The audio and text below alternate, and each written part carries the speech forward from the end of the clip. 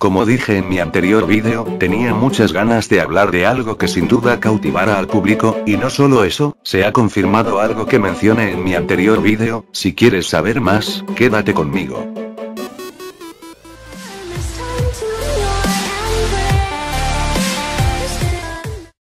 Se aproxima la cuarta temporada de Steven Universe, y con eso, muchos fans especulan que se aproxima un crossover con Adventure Time. Fue tanto el crecimiento de esta especulación que días después, las páginas oficiales de Steven Universe y Adventure Time compartieron esta imagen el mismo día. Esta imagen contiene en la parte superior una frase que dice, Si usan, que traducido significa, te veo pronto. Esto hizo cada vez más fuerte la especulación, Cartoon Network por su parte aún no ha dicho nada respecto al crossover, pero sin duda, si lo saben hacer bien, y no hacen algo muy forzado, llamaría la atención de los fans y sí que tendría un éxito profundo, hay que recordar que gracias a Tío Granpa, en el crossover que tuvo con Steven Universe, se nos muestra una lista de a todos a los que ha ayudado en el universo de Cartoon Network, y no solo eso, en uno de los cortos que salen en su serie, hay uno que se desarrolla en una entrega de premios, en donde vemos reunidos a personajes tanto retro como nuevos, y a qué quiero llegar con esto, pues gracias a muchos de los crossovers de Cartoon Network, es posible llegar a una conclusión de que todas estas series están unidas ya sea gracias a un multiverso, o bien unas pertenezcan al mismo universo.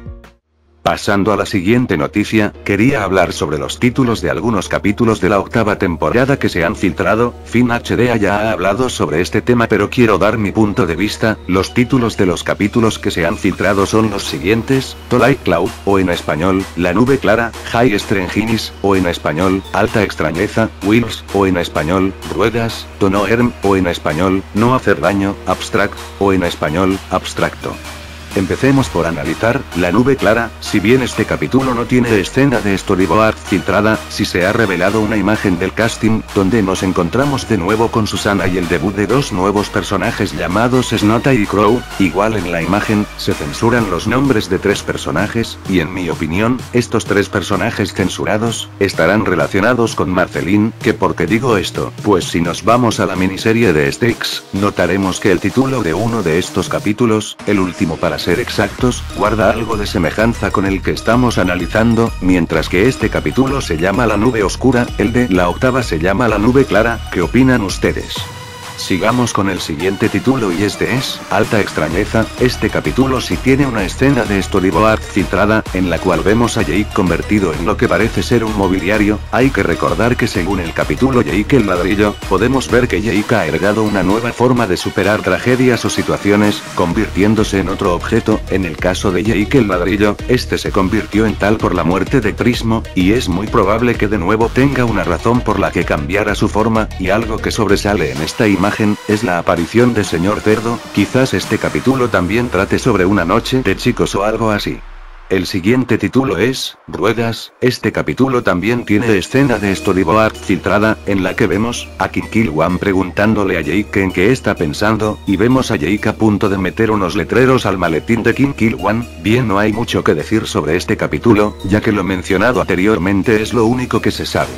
El siguiente título es, No hacer daño, en el cual se nos muestra a Starchy en una motocicleta, quizás se nos muestre cómo sigue su vida personal después de haber terminado su relación con la chica soda de cereza.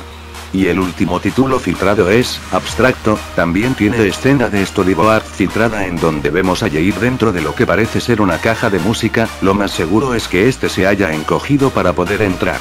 Como hemos visto, Jade tendrá un gran protagonismo en esta temporada, quizás se nos revele más sobre sus orígenes, como qué fue lo que sucedió con la cosa de la que sus poderes, o si este en verdad reencarnó, o una reaparición de Germain, sería genial, y para los que se pregunten cuándo se estrenará esta tan esperada temporada, Cartoon Network ha confirmado a través de la imagen ya hablada anteriormente, que Steven the Universe y Hora de Aventura regresarán de su hiatus antes de que acabe noviembre, y considerando que los capítulos finales de la séptima temporada se estrenan el 19 de noviembre, la octava se estrenará el 26 de noviembre, ya que todos los capítulos de estreno de Hora de Aventura son transmitidos cada sábado en Estados Unidos, por lo tanto tendremos a esta octava temporada, este 26 de noviembre.